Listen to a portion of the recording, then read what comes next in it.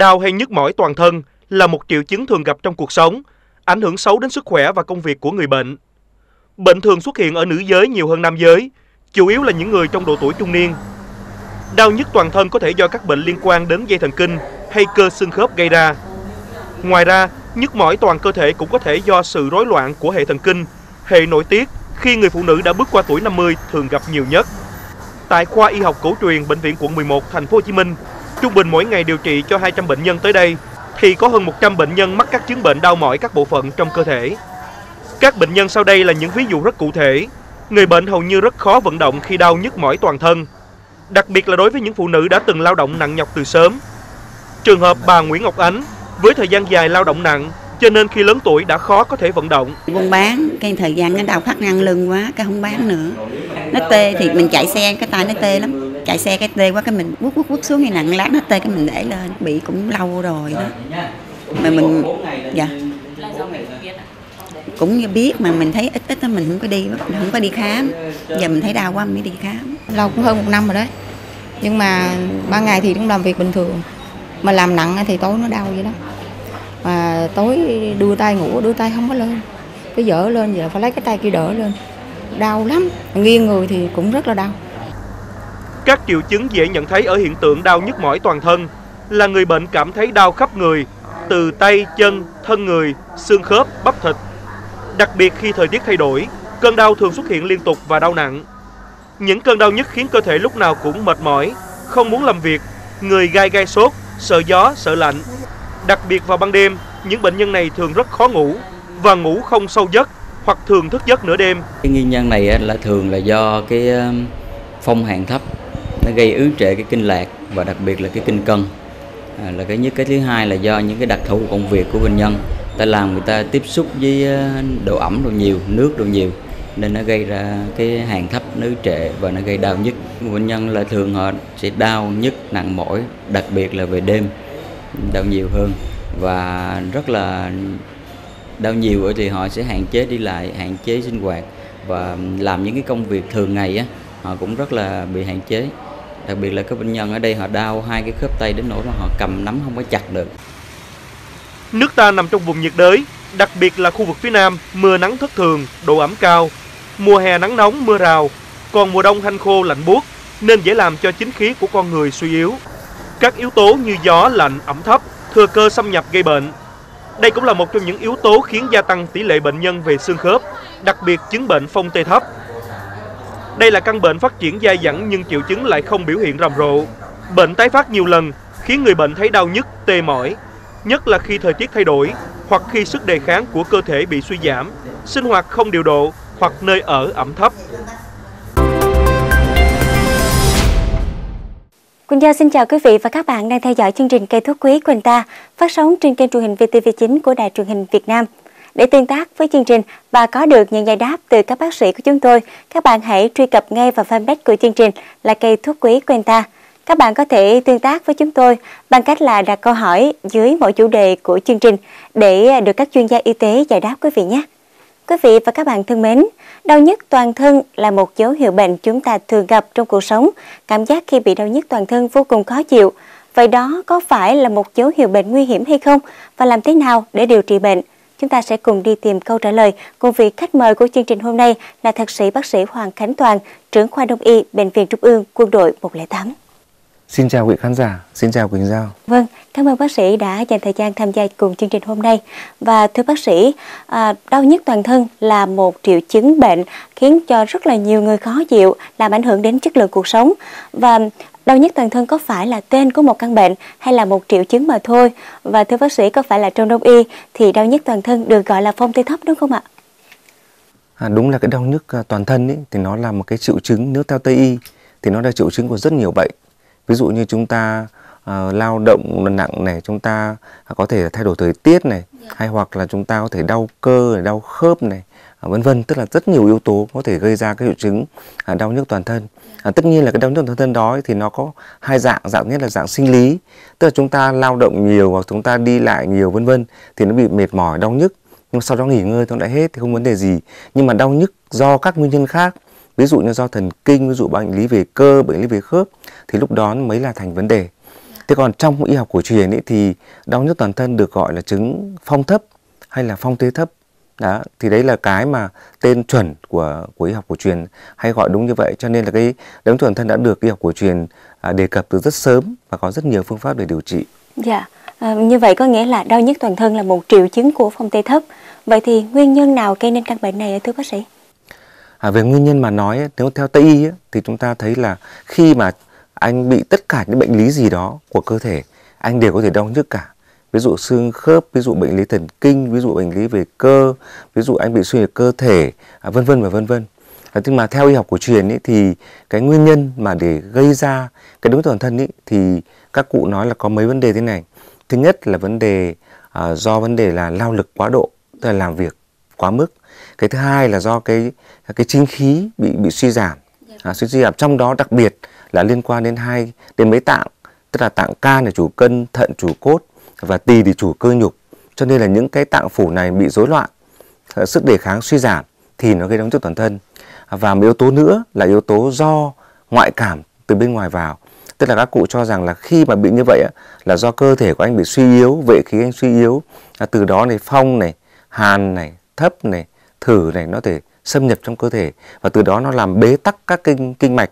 Và khi đã bế tắc như vậy rồi á, thì cụ nói rằng là là không thông thì là sẽ thống. Cho cho nên là đây là cũng là một cái lý do rất là quan trọng. À, như vậy tóm lại có thể nói rằng thì nó có hai vấn đề quan trọng. Vấn đề thứ nhất là cái chính khí bị suy giảm.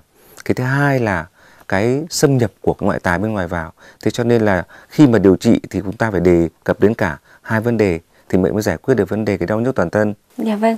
À, thưa bác sĩ, còn cho được biết là đau nhức toàn thân làm nhiều người rất là khó chịu và họ hay sử dụng những thuốc giảm đau kháng viêm để à, điều trị tạm thời mà thôi. Tuy nhiên á, việc à, điều trị như vậy thì không điều trị triệt để những nguyên nhân của bệnh và bác sĩ có thể cho biết là nếu mà sử dụng thuốc kháng viêm mà giảm đau như vậy lâu dài có gây ra những biến chứng nguy hiểm gì không ạ? Có thể nói là y học hiện đại thì khi đau nhức chúng ta vừa thuốc giảm giảm đau chống viêm thôi chứ còn chả cách nào khác cả. Yeah. Dạ. Thế nhưng mà chúng ta đều biết là à, ha, trong cái thuốc giảm đau chống viêm của Tây y nó có hai nhóm, yeah. Dạ. nhóm steroid và nhóm no steroid. Thì nhóm steroid thì bây giờ thì thực ra người ta lại ít dùng nhưng mà nhưng mà nhiều trường hợp bệnh nhân vẫn phải dùng mà nó có rất rất nhiều cái tác dụng phụ tôi nói ví dụ như là gây cao huyết áp gây đái tháo đường à, gây viêm lết dạ dày gây suy giảm bạch cầu rồi gây phù gây giữ nước rồi là gây suy giảm về mặt sinh lý vân vân. Nhưng còn hiện nay á, thì người ta xu hướng là chuyển sang dùng cái nhóm no steroid và đồng thời là cái nhóm này á, người ta cũng chế ra thứ thuốc mà nó ít độc hại hơn. Nhưng mà dù kiểu gì đi chăng nữa thì nếu anh dùng cái thuốc kháng viêm giảm đau của y học hiện đại ấy, lâu dài thì nó có thể ảnh hưởng đến thứ nhất là hệ tiêu hóa có thể gây viêm loét dạ dày tá tràng có thể gây rối loạn tiêu hóa có thể ảnh hưởng đến vấn đề chức năng máu và đồng thời nữa là cũng có thể ảnh hưởng đến vấn đề là uh, loãng xương. Cho nên có thể nói rằng là uh, hiện nay á, xu hướng thì người ta một mặt là có những giai đoạn người ta dùng các thuốc của tây y nhưng mặt khác chúng ta uh, có một xu hướng là tìm đến uh, các cái vị thuốc các bài thuốc y học cổ truyền để mà trừ phong thấp thì nó an toàn và nó hiệu quả vững chắc hơn.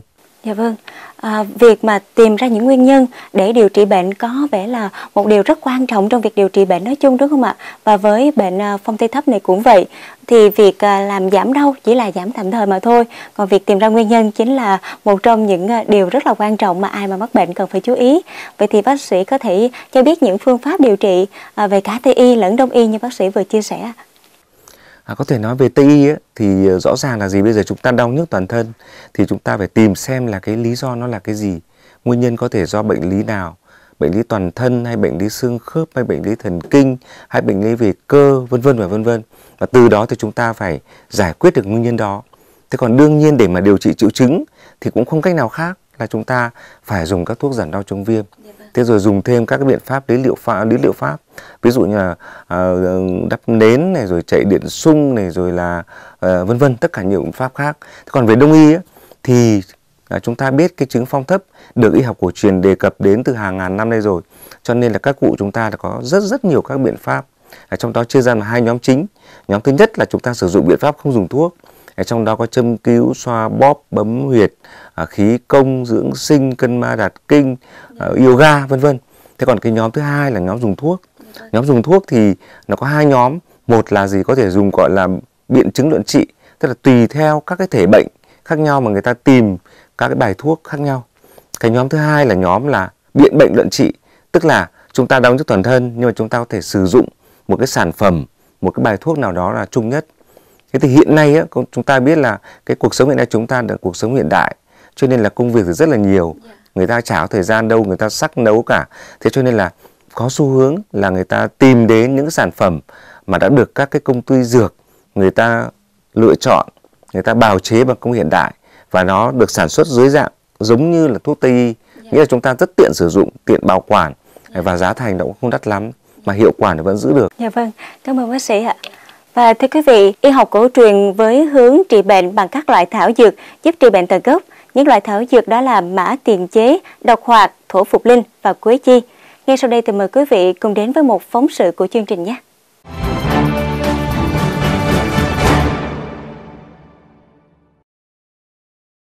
Mã tiền chế có vị đắng kích thích lên thụ cảm vị giác, làm tăng tiết dịch vị, tăng chức năng tiêu hóa, kích thích thèm ăn. Mã tiền chế còn có tác dụng thông kinh lạc giảm đau, trừ phong thấp, chữa thấp khớp, nhức mỏi tay chân, đau dây thần kinh, bại liệt, nhược cơ, giảm cường kiện ruột, thiếu máu. Hạt mã tiền có hai hoạt chất chính là sertigenin và brucin.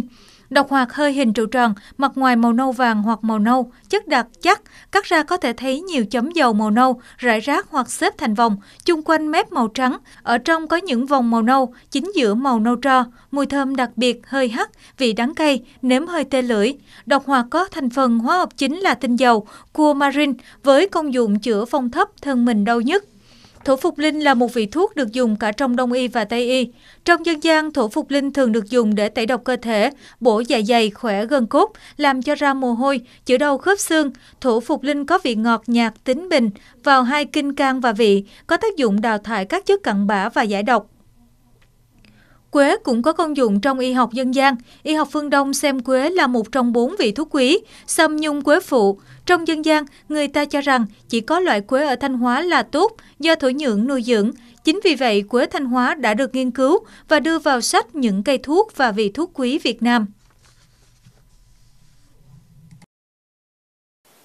Quý vị thân mến, ngày nay việc lựa chọn những phương thức chữa bệnh từ đông y đang được nhiều người tìm đến. Những vị thuốc từ mã tiền chế, độc hoạt, thổ phục linh và quế chi khi kết hợp với nhau sẽ tạo ra một bài thuốc chữa bệnh đau nhức toàn thân hiệu quả. Và trước khi kết thúc chương trình thì xin mời bác sĩ có thể chia sẻ những lời khuyên để Quỳnh Giao cũng như là quý vị đang xem truyền hình có thể phòng tránh được căn bệnh phong tê thấp này, tránh cái việc mà bị đau nhức toàn thân cũng như là những lưu ý trong việc điều trị bệnh ạ. À, có thể nói là ở chúng ta thì không ai là không có lúc bị đau nhức toàn thân. Dạ vâng. mà đặc biệt là ở nước ta là cái nước mà nóng ẩm mưa nhiều thời tiết nó rất là là là khắc nghiệt. Đặc biệt ở miền Bắc lúc mùa mùa đông lúc mùa hạ. Thế cho nên cái chuyện mà để chúng ta dự phòng cái chuyện đau nhức toàn thân là điều rất là quan trọng. Thế thì tôi chỉ có mấy lời khuyên thế này. À, điều đầu tiên ý, là chúng ta nên có phải có cái vệ sinh lao động cho nó tốt. Nghĩa là chúng ta đừng làm việc gì nó quá sức quá à, chúng ta phải có thời gian nghỉ ngơi thời gian đảm bảo giấc ngủ tất cả mọi thứ. Và đặc biệt là vấn đề tinh thần là chúng ta phải thoải mái. À, cái thứ hai là khi thời tiết bắt đầu thay đổi thì chúng ta phải thuận theo thời tiết để mà chúng ta bảo vệ sức khỏe của chúng ta. Tôi nói ví dụ như là nếu trời lạnh thì chúng ta mặc ấm trời nóng chúng ta phải nghỉ cho mát nhà cửa chúng ta nó phải thoáng đãng nó không bị ẩm ướt tất cả mọi thứ. Cái thứ ba nữa là chúng ta nên ăn uống một chế độ nó đủ chất và cân bằng đặc biệt là trọng dụng những cái cái thức ăn đồ uống mà nó có nhiều vitamin các nguyên tố vi lượng ví dụ như là canxi ví dụ như là vitamin A ví dụ là collagen ví dụ omega 3 vân vân. Thì những thứ đó nó rất tốt cho cái chuyện là dự phòng cái đau nhức toàn thân. Cái nữa là chúng ta nên tập luyện. Tập luyện là gì? Chúng ta có thể tập y học hiện đại có thể tập theo y học cổ truyền. À, nhưng đặc biệt là chúng ta tôi khuyên là nên tập các biện pháp của y học cổ truyền.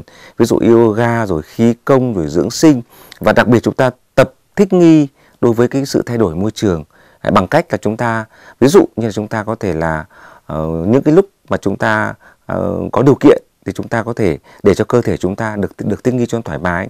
À, và cuối cùng là chúng ta nên sử dụng uh, các cái chế phẩm của cổ truyền.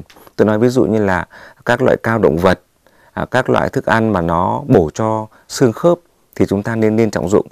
Rồi là những cái thức ăn mà nó có nhiều collagen. Dạ vâng, xin cảm ơn bác sĩ với những chia sẻ vừa rồi. Và vâng thưa quý vị, thông tin vừa rồi đã khép lại chương trình của chúng ta ngày hôm nay và hãy nhớ đón xem chương trình của chúng tôi vào lúc 15 giờ 30 phút thứ bảy hàng tuần trên kênh truyền hình VTV9 để có cho mình những bài thuốc từ các loại thảo dược trị bệnh hiệu quả quý vị nhé. Và đến đây thì Quỳnh Giao xin được chào tạm biệt và hẹn gặp lại.